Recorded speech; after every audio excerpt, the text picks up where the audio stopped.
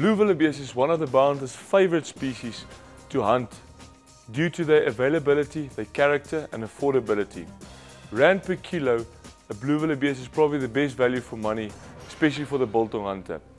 They are known to be very, very tough and probably one of the species that gets wounded the most out of all of the larger game species. The bulls are weighing between 180 to 250 kilograms, while the lighter females between 140 and 200 kilograms. They were initially known as plains game living on the plains of Africa, but have ever since become well adapted to the bushveld and most other parts of Africa.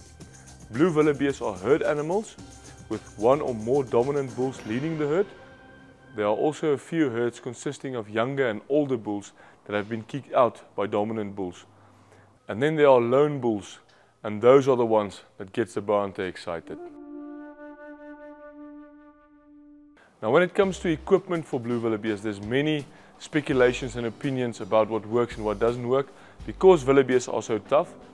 But a heavier 400 to 500 grain arrow with a good mechanical or fixed blade broadhead will work perfect as long as the shot, shot placement is correct, can be used with the same results as most fixed blades. The difference between a blue bull and a cow can be a little confusing, especially if there's younger bulls in the same herd with older cows. But bulls usually have thicker horns, thicker at the base as well, more muscular, larger bodies with thicker necks compared to the cows with their smaller horns, thinner necks and smaller in body size. Now our pro tip on wildebeest for this DVD is the standing position sometimes of a wildebeest. It can be very deceptive because they can stand with a back leg scorching away, the back part of their body scorching away, and then turn their front part looking back at you in such a way that it looks scorching away, but where you have to aim on the shoulder, that part is actually scorching to or sometimes broadside. So note on this picture, the back legs and the back part of the body is scorching away as the front part is bent in such a way that it's actually scorching toward. So just be very careful when you shoot at a blue wildebeest standing in that certain angle or position that you don't make a mistake with your shot placement.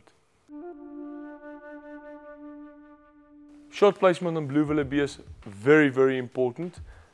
Like most other species, right up the front leg, one third from the bottom, Make sure you don't shoot too high. The biggest mistake bowhunters make with blue wildebeest is shots that goes too high and too far back because of their built big hump on the shoulder and their vitals actually sits quite far forward and quite low. A shot right on the shoulder, one third from the bottom in a broadside position will ensure you a top of the heart double lung shot and this also leaves you most room for error. Up you'll have a couple of inches, downward a couple of inches and left and right as well.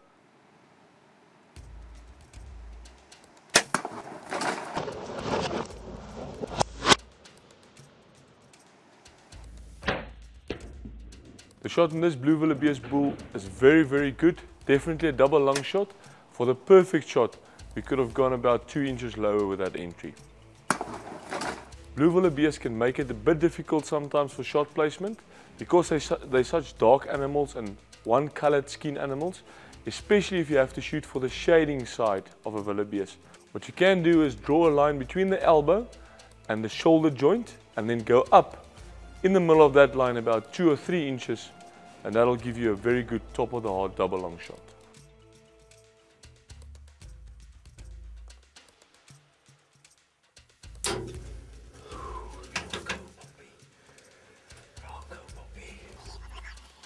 The shot on this blue wildebeest cow was a good height, just too far back. The wildebeest was recovered about three hours later though, and I think the main reason for the shot not as good was because of the shading side of the wildebeest. There was a one color target, no references, so it was very difficult. So be careful, keep that arrow tucked in tight to the shoulder. A blue wildebeest this size gives many a hunter the fever.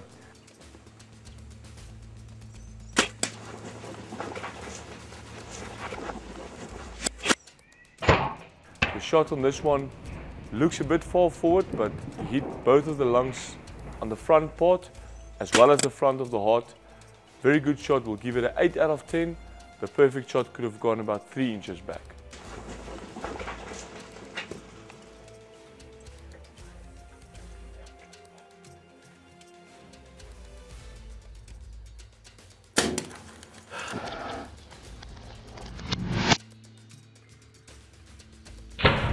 Shot on this blue wildebeest absolutely perfect. One third from the bottom, on the shoulder, top of the heart, double lung shot. Very, very good.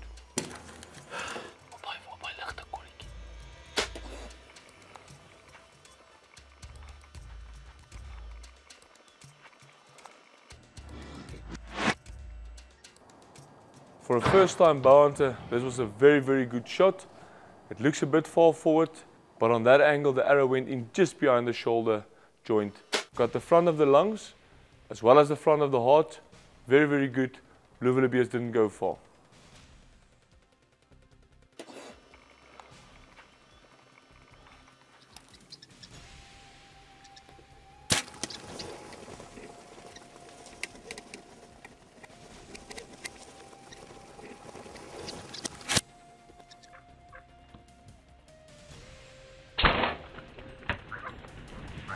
The shot on this old blue wildebeest is not too bad. Mid body in the crease.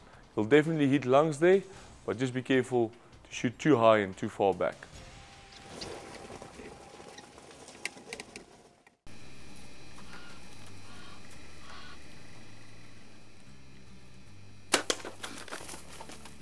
Good double lung shot by this hunter from an elevated blind. Be careful you don't shoot too high because hunters tend to shoot or aim a bit higher from elevated blinds because wildebeest has got such a big, large shoulder area. So it's very easy to aim mid-body and then enter a bit too high and hit the shoulder blade.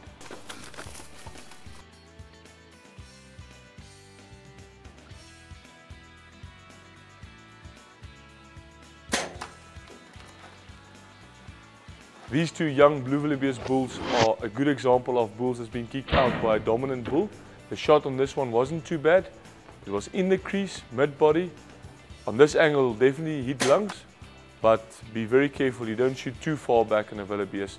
Don't put the arrow behind the crease, then it becomes very risky.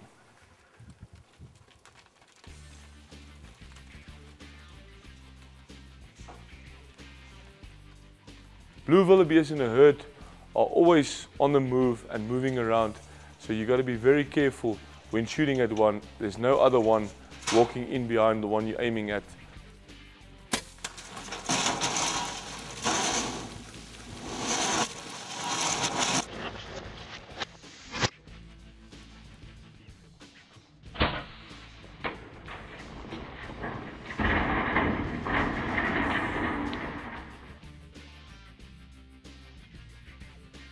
This hunter did very well with his shot. He shot a double lung shot, but very, very high risk. And there's always a chance of wounding another animal.